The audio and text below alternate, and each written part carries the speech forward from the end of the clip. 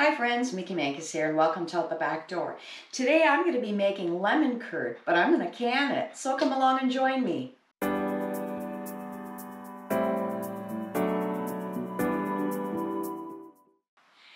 I found these Meyer lemons on sale the other day, so I took advantage of it and I bought quite a few bags. I've already washed them off and everything, and the next step that I'm going to take is I'm going to start zesting these. Okay, for a single recipe, I'm gonna need a half a cup of lemon zest. Being the Meyer lemons are a little bit smaller, it's a good thing that I did get as many as I did. We're also gonna be juicing these and we need one cup of the lemon juice.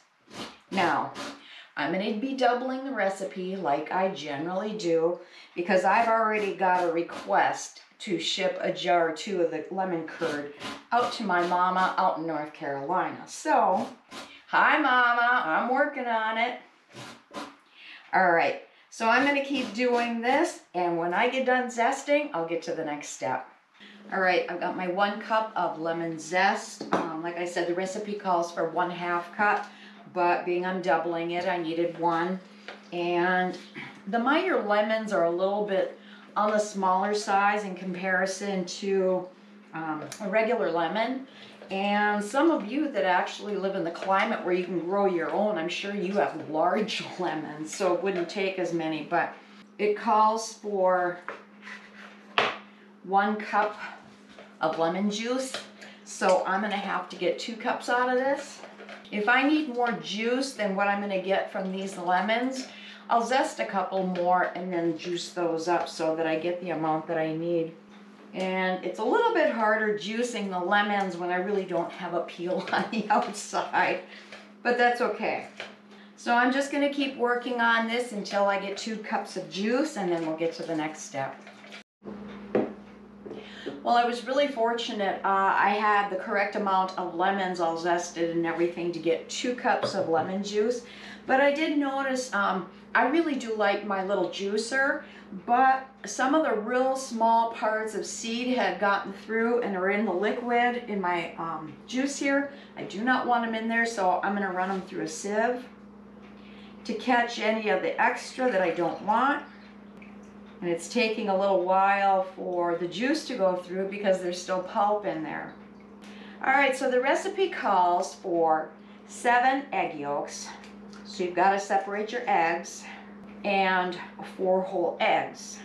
Being I'm doubling the recipe, I need 14 egg yolks. So I'm gonna have a whole lot of eggs.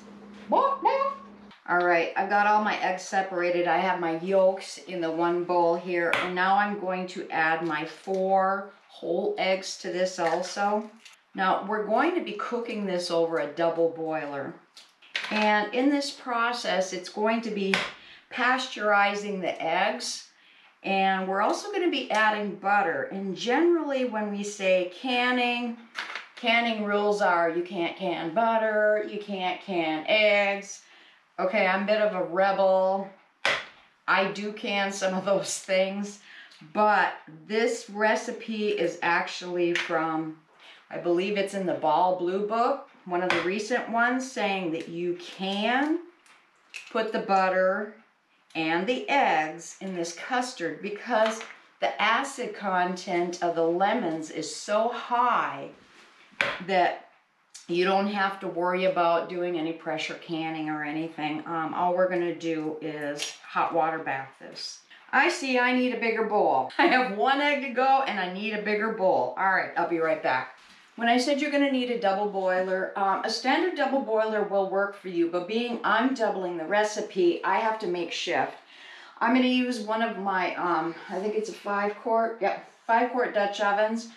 And I'm going to put a couple of canning rings on the bottom here to hold my bigger bowl up off the bottom because I don't want it sitting directly on there.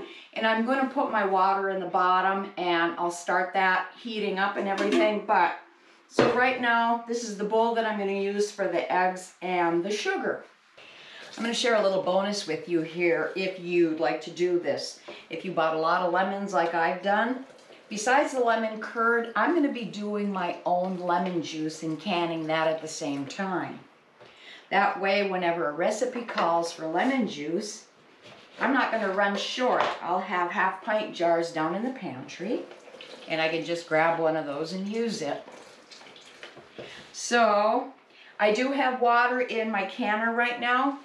Yes, I've got my pressure canner out, but it's like I didn't want to grab out my huge hot water bath canner. So I've just got that sitting on the top and I've got my tray in the bottom.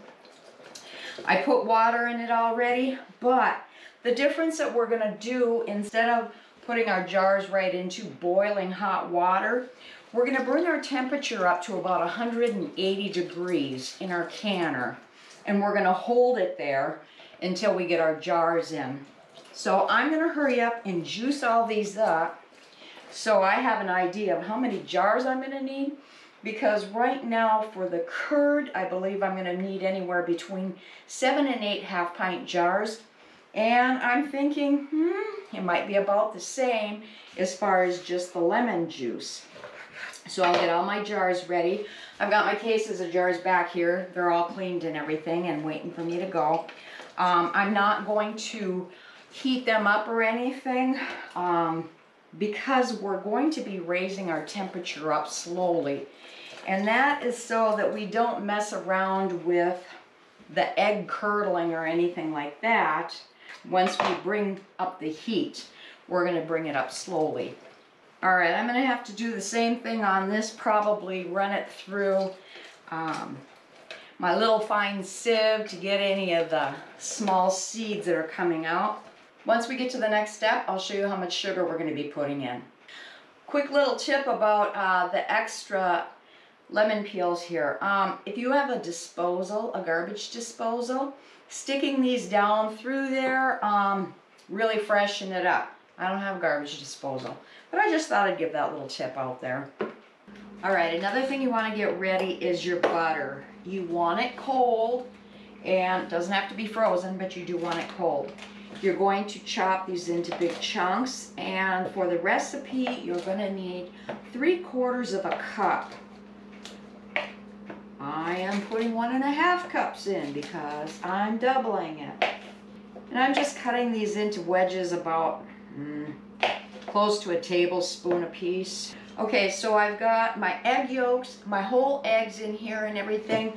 I'm going to start mixing these up with a whisk a little bit. Okay, now that I've got my eggs mixed up fairly well, we're to add our sugar and you're gonna need two and a half cups of sugar. I'm putting in five, being I'm doubling the recipe. The recipe says that it, super fine sugar works the best. Well, I just use raw cane sugar. So, I'm gonna dump that in, and I'm gonna start whisking that.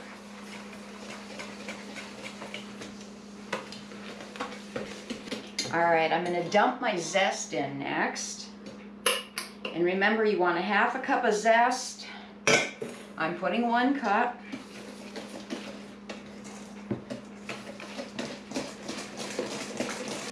All right, now I'm going to add the lemon juice. And remember, you need one cup. I'm putting in two. Give that a mix. And next we're going to add our butter.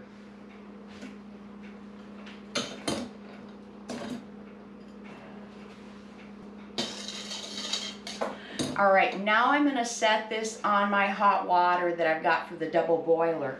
And I'm gonna bring up the heat some, not terribly hot, but what I'm gonna be doing is I'm going to bring it up to 170 degrees. I'm gonna be stirring the whole entire time. Once we reach 170 degrees, then I'm gonna take it off the heat and I'm gonna continue whisking it for another five minutes while it cools down and thickens. All right, like I had said earlier, the process that we're doing this is going to actually pasteurize our eggs. And at the same time, if you can see on the back burner, I've got my um, the extra lemon juice, and I've got that on a low heat right now just to warm it up. So that way, all of my jars are gonna be approximately the same temperature when I put them into the canner. Okay, I my candy thermometer had broken on me and I haven't ordered a new one yet. And I've got like a regular digital meat thermometer that I use a lot of times when I'm cooking or whatnot. But Okay, I bought this handy dandy little temperature gauge. Let's see what it is right now. It says we're at 74 degrees. So, um, I've got quite a ways to go. I'm going to keep stirring it so that I don't have any scrambled eggs. And that's why we want to start the heat low and slowly bring it up so that we aren't cooking the eggs. All right, we're almost at 160 degrees. We need to get to 170, but um, I'll show you a picture from earlier how it had such a white foam over it for most of the time. And once the temperature started coming up, and it is thickening, um, that white foam has gone away. It's cooked down, so. But you may be wondering, what can I use the lemon curd for? Well, some people spread it on toast or scones. Um, some people use it as a filling in cakes. Um, I'm going to be using it. The reason I'm making it is because Mr. Mankus likes turnovers for breakfast. And he's growing a little old of the apple, blueberry, peach, cherry, mango. so I told him I would make them lemon ones, and he decided that was a good idea.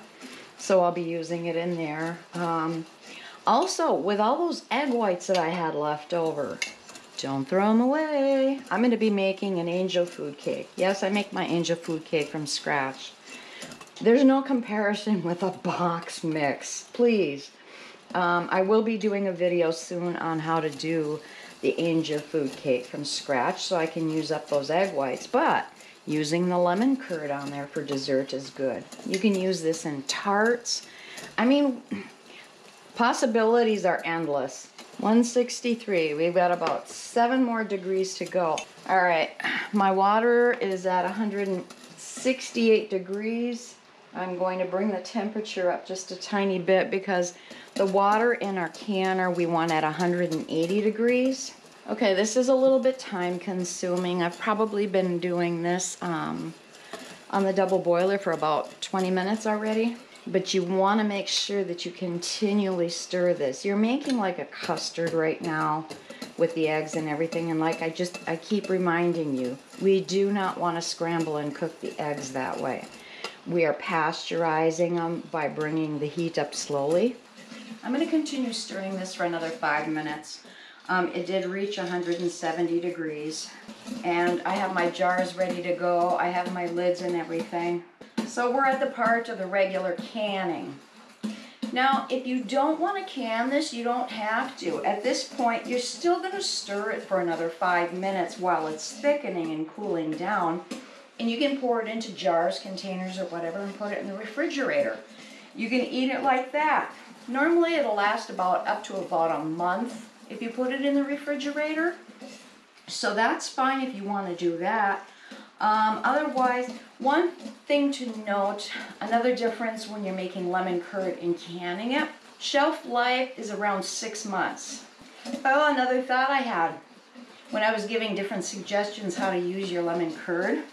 What about making a lemon meringue pie? that way you can use your lemon curd in there and with that extra egg whites that you have, you can whip it up to make the beautiful uh, peaks on top and everything, you know. That would be good. I suppose Mr. Mankus will want one of those too. if I don't mention it, he won't think of it. Okay, I've got a couple more minutes that I've got to be stirring and then I'll start jarring it up. Okay, right now our temperature's down to about 147 degrees. Um, and it is thickening up. But one of the reasons I want to keep mixing it really well is to make sure that um, there's zest throughout the whole entire thing because otherwise the zest is kind of settling to the bottom. We're going to leave a half inch headspace and I am just going to continue filling the jars. And then when I'm done with the lemon curd, I'm going to hurry up and dump the um, lemon juice into the jars also. Yes, I'm using metal lids instead of tattlers today because I don't want to be concerned about getting my tattlers back from anybody. All right, I was just a tiny bit short um, from an eighth jar That's okay, I'll save that one. I am gonna can it, but I'll use that right away um, for the turnovers. And a reminder, Ball says you do not have to heat these up any longer. I wanted to get the um, lids on this quickly before I put the lemon juice in because I didn't want it cooling down and getting any kind of a skin on the top. Put my bands on, fingertip tight. Now see, these are warm, but I can hold them. All right, as long as I've got those done like that, I'm gonna put them into my canner right away, and then I'll fill up the um, lemon juice. There is a little bit of pulp in this, so that's why I'm trying to mix it up. I'm gonna leave about a half inch head space on these also. This is gonna be like um, a lemon juice concentrate because we haven't watered it down or anything. It's just fresh squeezed lemon juice. I'm gonna steam can these.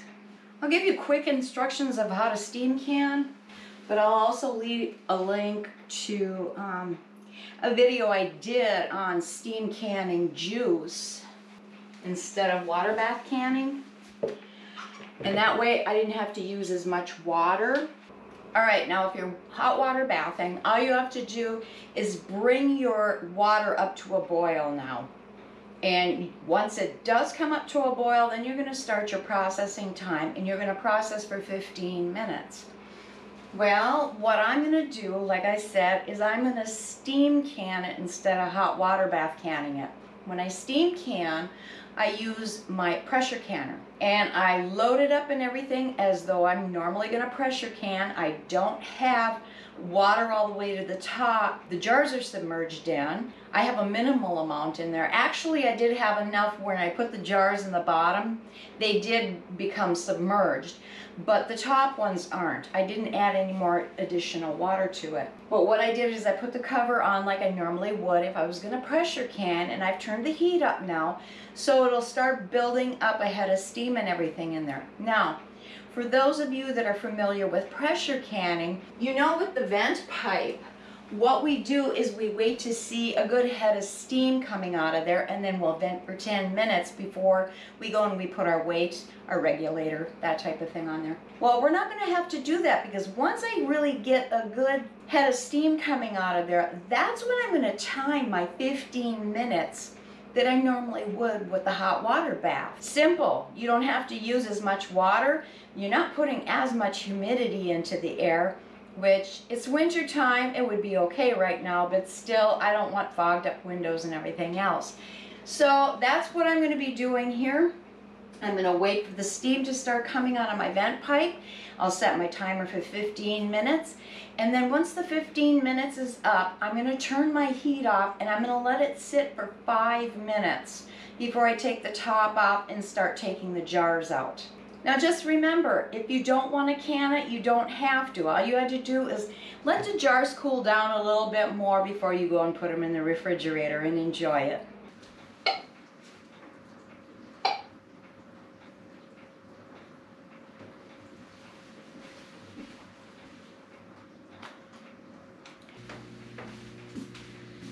Well, I'm going to be pulling the rest of the jars out. Good morning, friends. Um, I just got done washing all of my jars. I had a total of 10 of the half pint jars of the lemon curd and I'm excited about that. And then a little bit of a bonus with the concentrated lemon juice that I've canned up in half pint jars. I've got eight of those so I'm I'll have my lemon juice whenever I want it for anything. So if you did enjoy this video, please consider subscribing and give me a thumbs up. And if you have any comments or questions, please leave them below because I really would like to hear from you. So until next time, I hope you have a wonderful day. God bless.